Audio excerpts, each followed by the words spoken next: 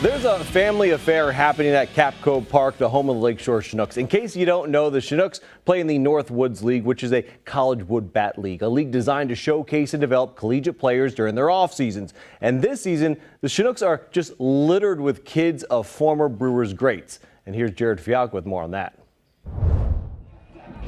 The third baseman, number 13, people are going to recognize the last name. Brady Counsell. This year it's probably a little more boos than it is happiness. 21 year old Brady and 19 year old Jack Counsell reunited on the same diamond, on the same squad, something they only shared one year at Whitefish Bay High. I think it's one thing to play together in high school. I think a lot of brothers experience playing together in high school, but I think playing together in college is kind of a whole new realm, and it's something that not a lot of people get to do.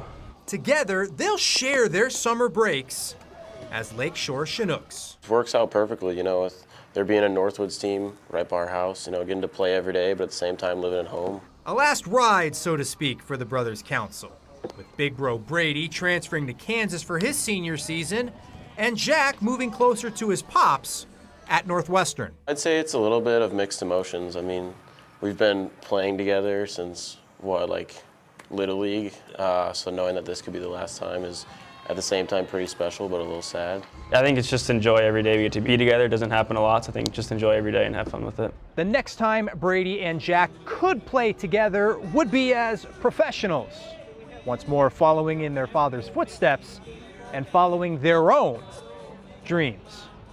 At Kapco Park, Jared Fialco, WISN 12 Sports.